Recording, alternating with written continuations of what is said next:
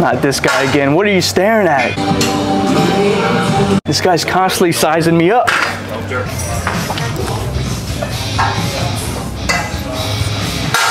Honestly, I just stare at him because he has an immaculate physique, like literally my dream physique. What was he saying about me? Was he talking shit? Was he plotting to poison my shaker bottle? Oh, I can't stand that guy. You know he's my gym enemy, right? He's actually a great guy. He's actually a great guy? Yeah, okay. I'll believe it when I see it.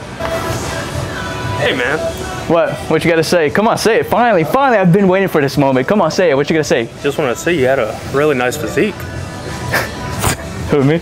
Yeah. Stop it. Stop it. Hey, I'm trying to get like you. Hey, actually, I was just telling them guys over there, hey, I'd love to be friends with that guy. He has a great physique. I'm trying to get like him. Dude, I appreciate that. Absolutely, man. What a guy.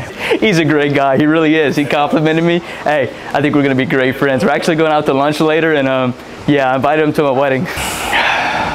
I have no idea what his name is.